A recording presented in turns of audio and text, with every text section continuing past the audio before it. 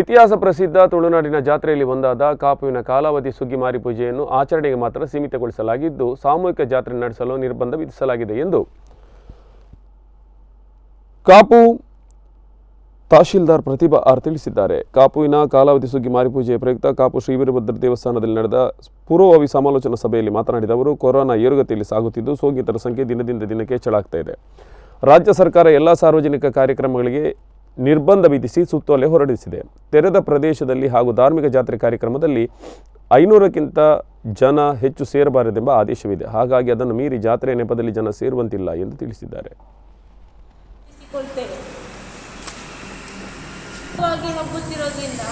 ತಾವೆಲ್ಲರೂ ಪ್ರಯಾಣ ಮಾಡಬಾರದು ಅಂತ ಈ ಮೂಲಕ ತಮ್ಮಲ್ಲಿ ವಿನಂತಿಸಿಕೊಳ್ತೇವೆ.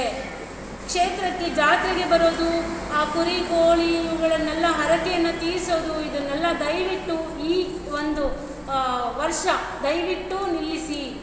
ದಯವಿಟ್ಟು ಬೇಡ, ಇದರಿಂದ ಎಲ್ಲರಿಗೂ ತೊಂದರೆ ಆಗುತ್ತೆ. ಕರೋನಾ ಮಹಾಮಾರಿ ಅಂತಲೇ ಕರೆದಿದ್ದಾರೆ. ಮಹಾಮಾರಿ ಹಬ್ಬುತ್ತಿದೆ, ಜಾಸ್ತಿ ಆ ಹಬ್ಬದ ಹಬ್ಬಲು ನಮ್ಮ ವ್ಯಾಪ್ತಿಯಲ್ಲಿ ಅವಕಾಶ ಕೊಡೋದು ಬೇಡ.